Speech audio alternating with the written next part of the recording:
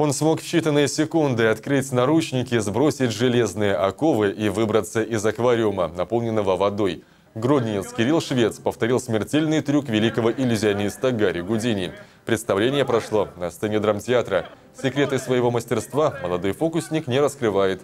Все ради того, чтобы мы могли по-настоящему удивляться и даже испытывать шок. Подготовка шла конкретно к фокусу Гудини около года. Все остальные номера я готовил от трех до двух лет, то есть от двух до трех лет.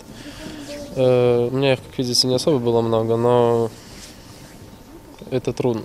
Трудная профессия, трудно делать номер. Это не песня, не вокал, не инструментал. Это фокусы.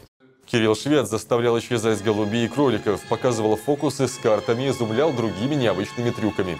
Участие в программе приняли фокусники из-за рубежа. Горожан удивляли президент Международной ассоциации магов Влад Кривоногов, а также призер фестиваля иллюзионистов в Бангкоке Яна Шкалеренко.